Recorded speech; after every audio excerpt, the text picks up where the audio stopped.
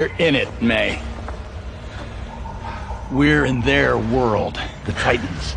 This is just another part of their realm. How did I get here?